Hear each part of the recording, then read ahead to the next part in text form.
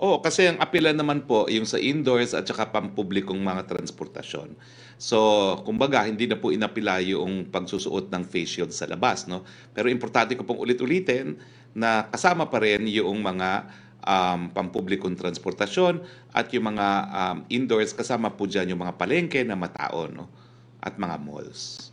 Opo. And sir, kapag ang isang tao ay lumabas ng kanyang bahay, let's say mag-exercise o maglakad-lakad, hindi na siya dapat hulihin kung wala man siyang face shield, basta naka-face mask.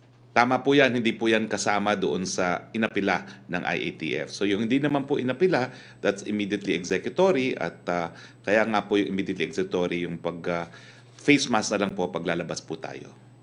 Except Opo. for sa public transportation at saka doon sa mga enclosed o di naman kaya yung mataong lugar gaya ng public markets.